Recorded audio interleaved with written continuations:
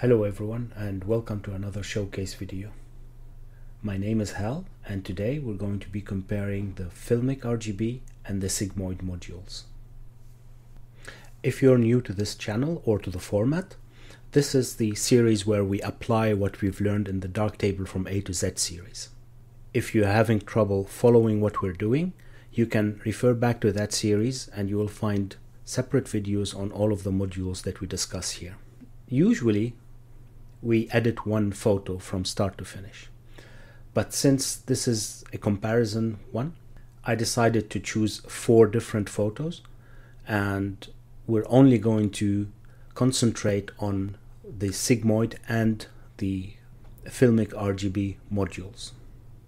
We're not going to go through the editing from the start and the reason for that is because I thought that it would be good to see the difference between those two modules in different photos. I've already done some basic editing on those photos, nothing significant, just some color calibration, denoising, sharpening and local contrast, just so that the end result will be somehow aesthetically pleasing. Of course, keep in mind this is not a full edit of any of those photos and won't do them justice, but at least there is a some basis. As usual, you can find the link to these photos in the description below. You can download them and then redo the edit yourself, either to redo the same steps or to try it out with your own workflow. Alright, let's start. It's good to know that I've already adjusted the exposure to what I think is the correct midtones. I'll show you how it was without it. Um, well, no, because if I disable it, all right, I'll reset it.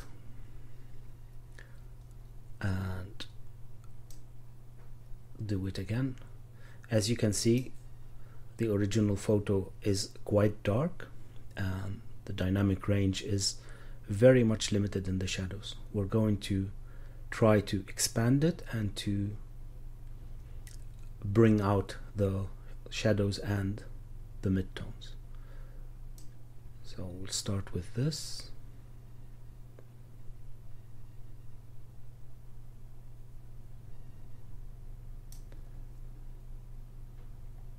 And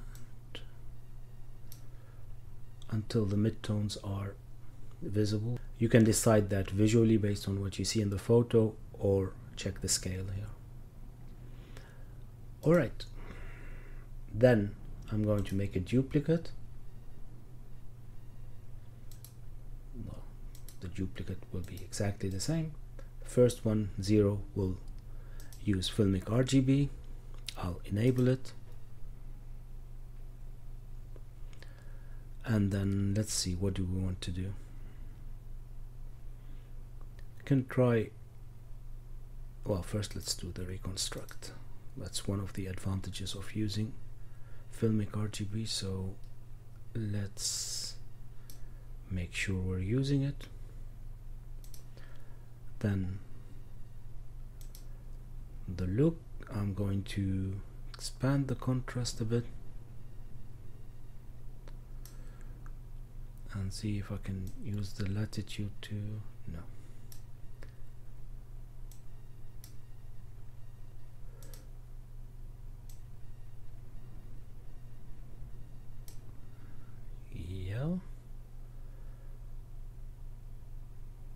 all right.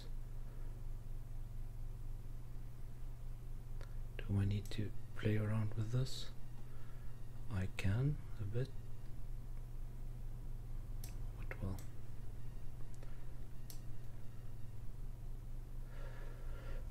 Alright not that it has to be there but the midtone is really in the middle. And we seem to have a nice curve the photo looks quite contrasty but with enough details in the shadows and in the highlights. The colors are okay. We can see if we need to change anything here.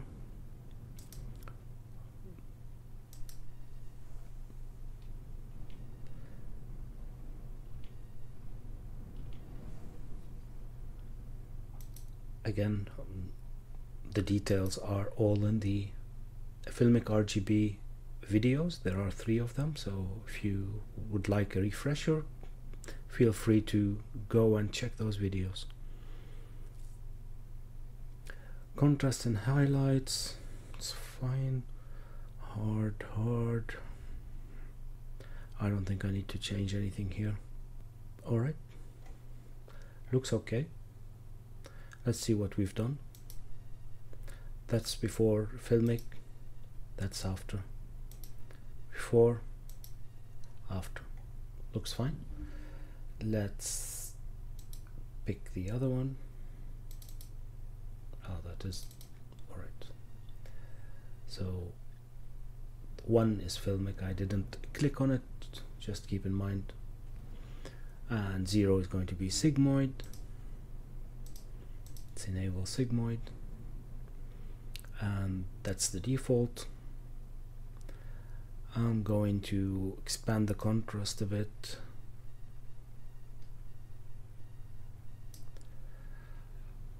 And maybe skew it towards the highlights. And lower this until we get a acceptable color here. It's still quite reddish.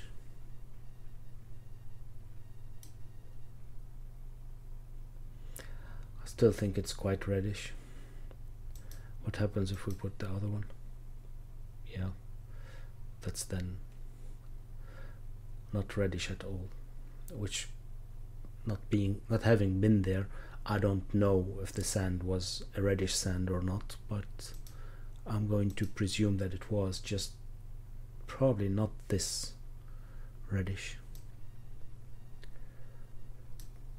Okay.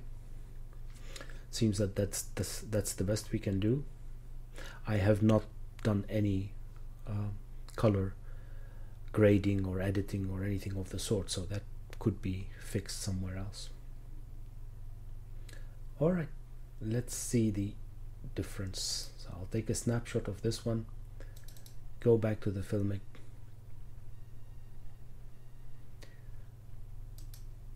and click on that one. And there you go. That's the filmic. And that's the sigmoid. It's much much more saturated. And mm, well I mean of course there's no right or wrong. It's especially if if you've made this photo for yourself not for someone else as long as you're happy with the editing you do it as you want it but I think in this particular case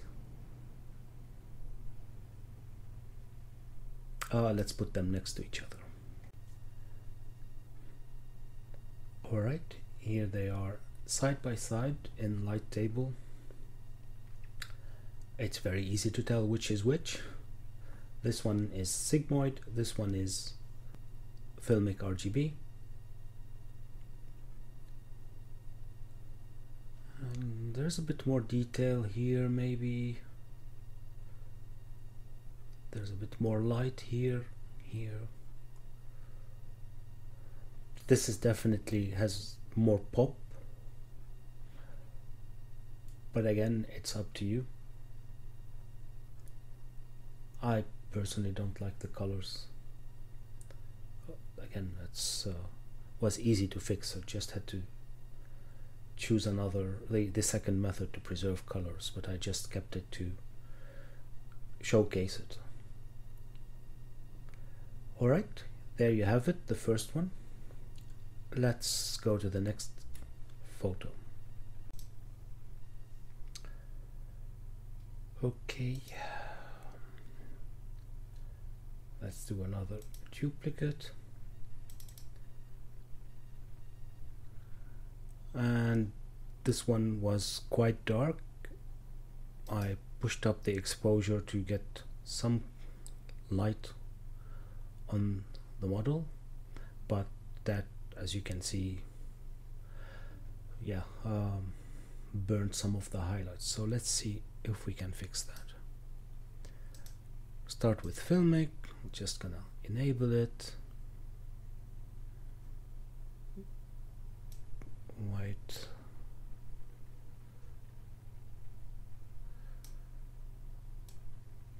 This.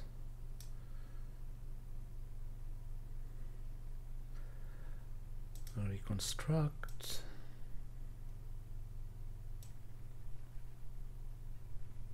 Too much okay. You can definitely do this more meticulously but these are just more or less quick edits for the purpose of the video. Bit more contrast. Yeah. A tiny bit. Okay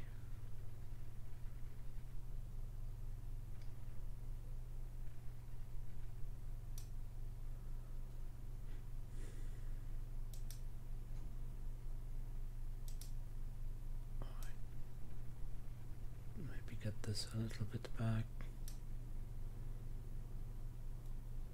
Okay.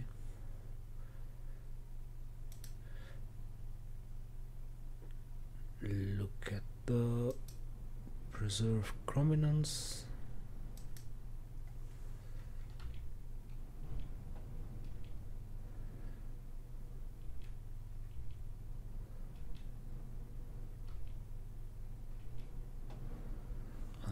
on this one. And I'll take a snapshot. Go to the other one. Enable sigmoid. Whoa that's orange. Okay let's skew this a little bit towards the highlights and definitely can lower the contrast but it takes away all of what's nice about this photo. I really don't like how orange everything has become. Yeah.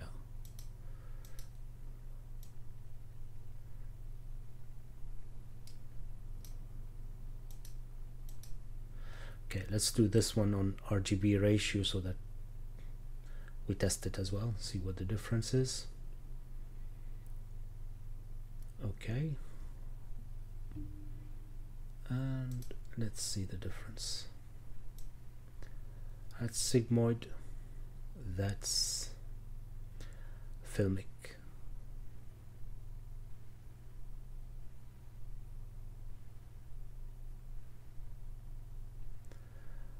Let's see them next to each other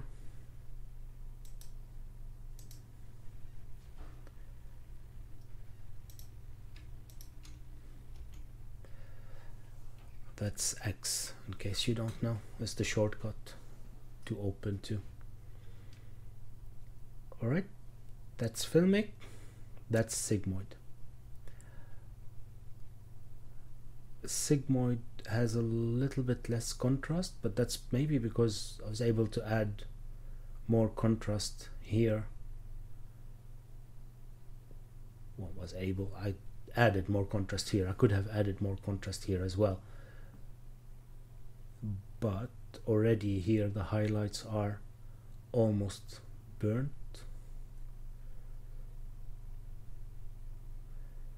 Well keep in mind that could be because I don't know how to use sigmoid. Or maybe that's these are the desired outcome uh, of sigmoid and it's just a personal preference but I still prefer this one it has more contrast it's a little bit more I don't know this is more flat. Again that's because I added less contrast didn't add any contrast there but that's how it is. Let's go on to the third photo. All right. A new duplicate enable filmic and notice how the color go from that yellow orange. Once you recover some of the red. Alright I'm going to start here. Make sure I can recover some of the sky it's okay if some part are burnt. The sun is still not completely down. Go to the look. I'm not gonna change anything here. Yeah add some there's already way too much contrast and I can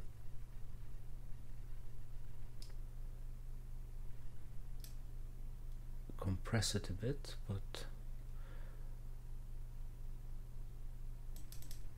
I don't think it's needed go back to the scene. Push that a little bit up. Not too much. Black doesn't have to be fixed I think. Tiny bit. Again it all depends on what you're trying to do. I'm not trying to recover all of the shadows because it's a sunset photo and it would be quite weird if you could see all of the shadows. Okay a really quick one. Let's take a snapshot. Go to the other one. Enable sigmoid. Wow that's a pretty decent job on the default. We can skew it a little bit the other side to get some of the highlights back. I think the colors are okay here. It's still a little bit orangey. If I move to no that kills it completely. Just a little bit less. Oh that is good. Yeah I like that alright let's see how that compares to the filmic RGB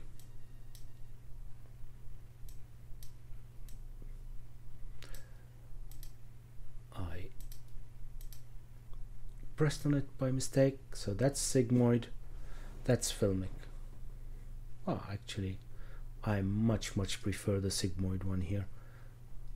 This looks a little bit plasticky now when you compare it I prefer the colors here. It's very possible I guess to fix the colors. We can go back here.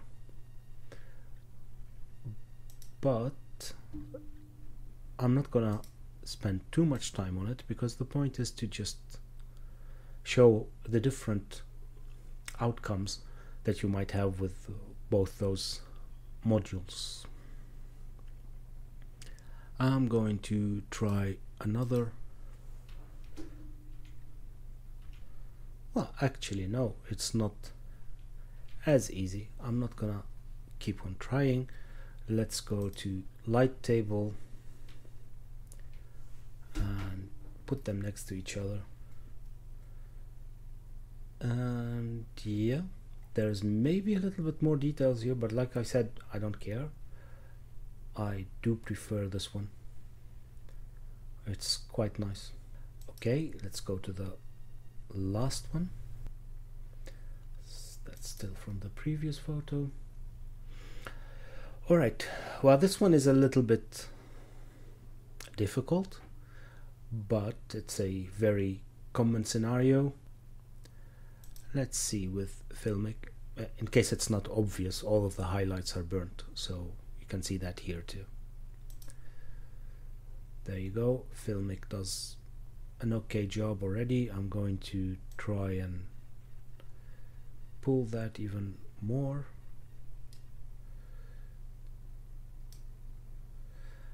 Actually I don't think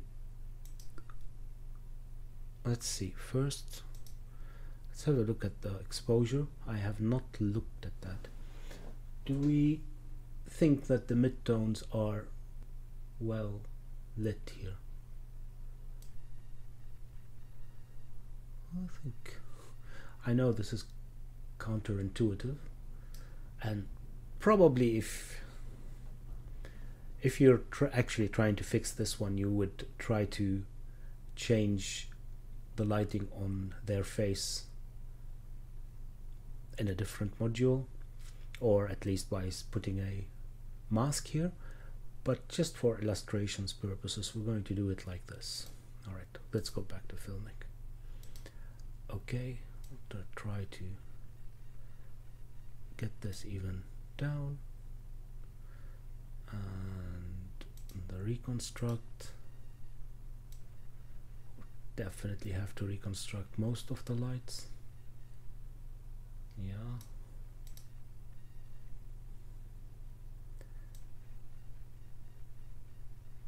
um that wasn't what I was tr trying to do.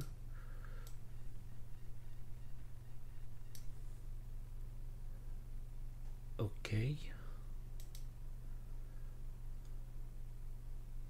I can try compressing the contrast. But yeah that doesn't help a little bit. Try not to make it too flat that's not nice either but let's see what did we do here. That's how it was and that's what we did with filmic. Again you can try changing things in the options. You can do a couple of iterations. Mm, is it helping? Not really but maybe in reconstruct we can switch this a little bit towards uh, texture.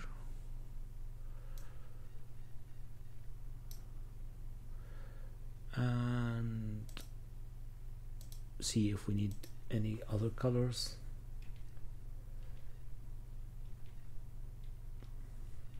Except for the red I don't think I don't see a lot of changes.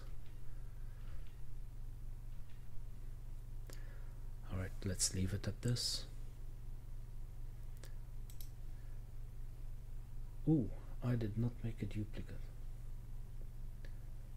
Doesn't that's not very smart. I'll take a snapshot. I'll make a duplicate. That's not at the end of the world of course. I'll just disable filmic here. And enable sigmoid. Okay let's try to do the same a little bit less contrast like we did in the previous one.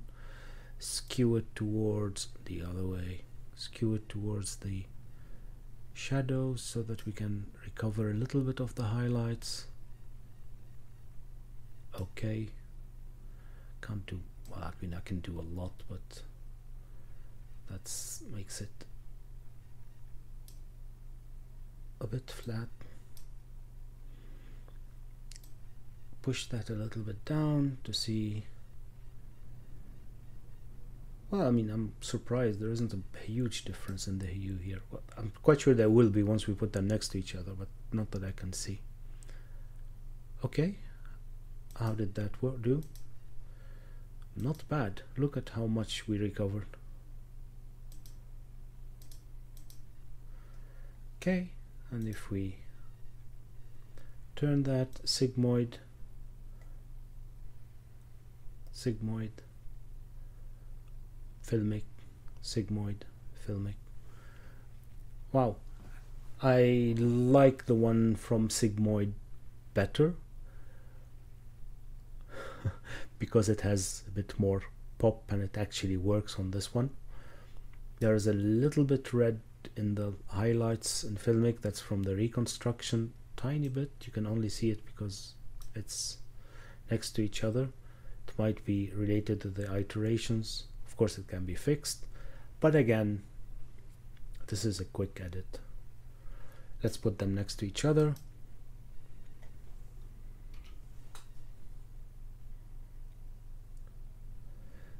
Filmic, Sigmoid. Alright, that's gonna do it for this video. As you probably have gathered and as we've already said in the darktable from A to Z uh, video on Sigmoid, there won't be a better one between the two objectively. It will depend on the photo, as you can see, and it will depend depend on the editor as well, as you did see as well. You might be able to get best results in both, but there will be photos where it will be easier to get better result in one or the other. I recommend that you play around with them, see what their um, advantages and advant- disadvantages or strong points and weak points are, and decide for yourself. And just keep in mind, even if you stick to using one, that the other one exists. And if you're unhappy about how the photo is coming up in one and it's requiring too much effort to fix it, try the second one and see it might be easier to get acceptable or even better results or best results in the other. I hope that you've enjoyed this video. If you have any questions, requests, or corrections, please leave them in the comments below and I'll see you next time. Bye bye.